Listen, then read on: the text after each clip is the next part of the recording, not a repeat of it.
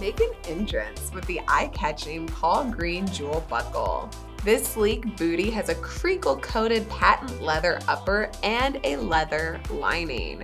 It's got a 7-inch shaft that's going to cover up your ankles, and it's also got this zipper there on the side that'll help you get them on and off easy, as well as this buckle here that's going to give you a super customizable fit.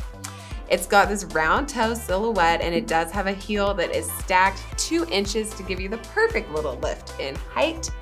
The insole is man-made and so is the outsole. I think that these would look really cute with a bright red mini skirt and your favorite vintage t-shirt.